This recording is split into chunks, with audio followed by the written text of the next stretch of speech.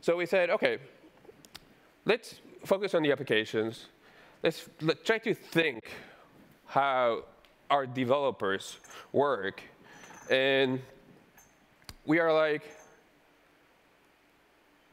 our developers don't care about how things are deployed. They just want to write code. They want to focus on their users. They want to be able to serve all the people in the country, right? So we're, we're thinking, OK, if, if you think about it, we can just try to use a way of receiving the code, building it some way, and running it, and try to make that all into one compliant and secure thing. And that really sounds like a PaaS, like a platform as a service, right? Um, so we tried a couple different open source platforms as a service. We're all about open source. And you know, these are the ones that we, we, we, we tried. Um, and we ended up going with Cloud Foundry. I mean, Cloud Foundry is really cool for um, enterprise solutions. Um, it has, you know, um, auditing and automation and, you know, pretty good security.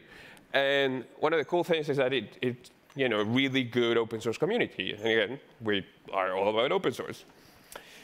So we built a small prototype, and we were like, hey, you know, do you want to try our thing and you know deploy a couple applications in our platform? You know, it's totally you know secure, totally well, it floats. Um, so um, they did, and they loved it, right? Like they didn't, they just pushed the code and it worked. And we, you know, from there we started working on improving it, and we are like, we can take this and offer it for like the whole government. That would be pretty cool, right? Uh, so we built this thing called cloud.gov. Um, the idea, again, is like, you know, developers send the, code. We, you know, with build packs, you know, you're probably familiar with build packs. You build packs, we build a container image. And basically, the, the, the developers only have to care about the security on their code. The build pack, the host, and the whole network is all managed at you know, one layer. But it's not only that.